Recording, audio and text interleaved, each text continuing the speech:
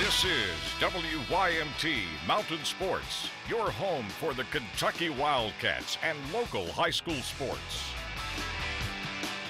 In terms of college basketball powerhouses, it doesn't get any better than Kentucky and UCLA. UK with eight national titles all time, UCLA with 11. The two most decorated programs playing in Chicago today for the CBS Sports Classic inside the United Center. There you see John Calipari, and he watched his team do some nasty things today. First half, Trey Lyles knocking down the long jumper. The Cats start the game on a 7 0 run.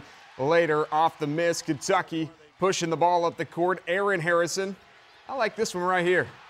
Three ball goes. That's string music for the Cats. Harrison finished with 15 points. Cats up 16 to nothing. Doesn't stop there. Another Bruin shoots. Another clank off the rim, and the Cats are pushing it up the court again.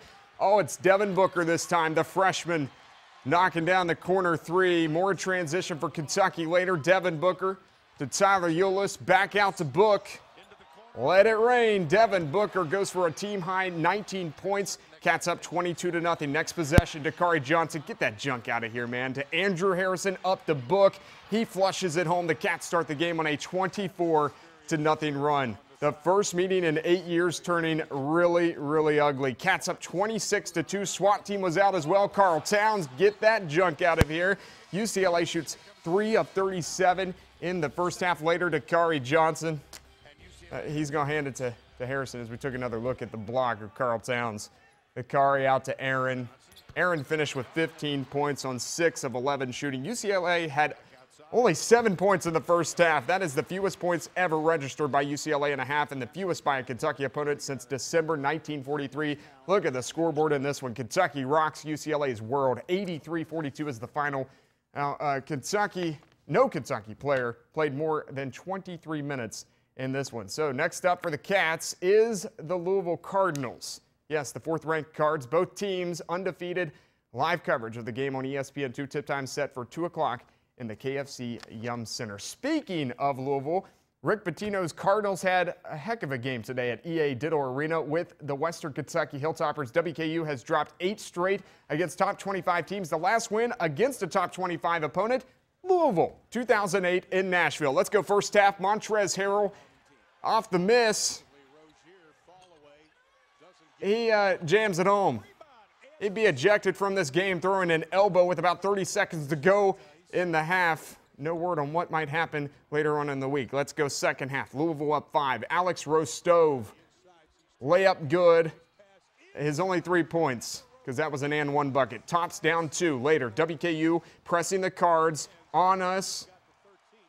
Mahmoud, the Egyptian, with the jam. The Ville back up 35 31. Take another look. Mahmoud, big drop step, and the flush. He finished with six points on, and five rebounds. All right, Western on the break now. Justin Johnson misses the slam. We're in the second half. Remember, Louisville will capitalize off the missed slam. Terry Rozier on the other end.